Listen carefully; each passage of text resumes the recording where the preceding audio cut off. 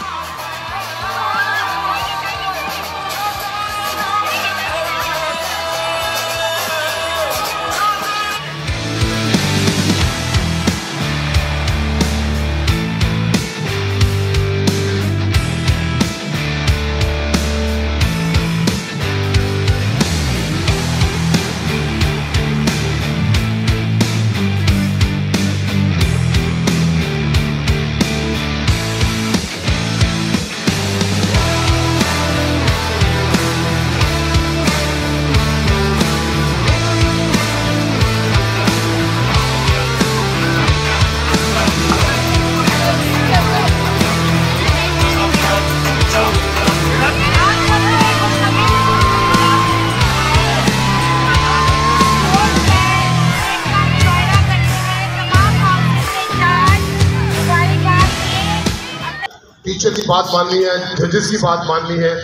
اور آخر میں جیسے آپ سب کو بتایا گیا ہے کہ ہر مقابلے کے تین پوائنٹ ہیں۔ فرسٹ بچہ جو آئے گا کلر وائز اس کو تیس نمبر ملیں گے۔ جو سیکنڈ آئے گا، اس کو بیس نمبر ملیں گے۔ جو تھرڈ آئے گا، اس کو دس نمبر ملیں گے۔ چوتھا بچہ جو ہے، وہ ہمت دکھائے گا کہ اسے دے سکے گا ادر وائز وہ اور سمجھا جائے گا۔ تمام والدہ بھی نوٹ کر لیں اور بچے بھی نوٹ کر لیں۔ چار کے درمیان مقابلہ ہوگا۔ چار میں سے تین بچے جو ہے فرسٹ سیکنڈ تھرڈ آئے یہ مقابلے کے لیے کیا گیا تاکہ بچوں کے اندر جذبہ، جوش پیدا ہو۔ ہمارے اسکول میں ماشاء اللہ ایک ہفتہ دو باتیں میں کلیئر کر دوں یہ تینوں اسکول مضافاتی بستی ہوتے ہیں۔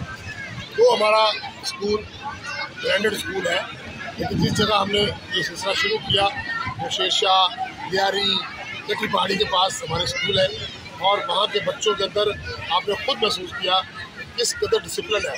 بیسکلی ہم انہیں ڈسپلن کی طرف زیادہ توجہ دلاتے ہیں تاکہ بچے ڈسپلن میں ہوں گے تو آئندہ زندگی میں ان کو مشکلات کا سامنا نہیں کرنا پڑے گا۔ اصل مقصد اس کا یہی ہے۔ مشکلات کوئی نہیں ہے ڈپینڈ کرتا ہے آپ کے اوپر۔ آپ کتنی دلچسپی کے ساتھ، کتنی محنت کے ساتھ بچوں کو تیار کراتے ہیں۔ ہمیں ایک مہینہ ہو گیا اسپورٹ گراؤنڈ میں اپنے اسکول میں اللہ نے مجھے حال دیا وہاں پہ بچوں کی تیاری کرا رہے تھے اور آج اس کا رزلٹ بہت اچھا ملا ہمیں۔ ہمارے بچوں میں بہت دلچسپی ہے صاحب سرکار میں چکا